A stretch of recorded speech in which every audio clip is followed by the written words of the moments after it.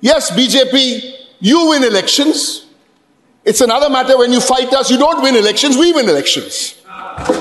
So, so let's compare equals. You win, we win. You have an outlook on the economy.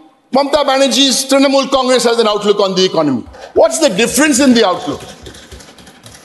So one, two, and three points. Indian economy is expected to grow at 7% in the current financial year. Bengal growing at 8.4% in the current financial year.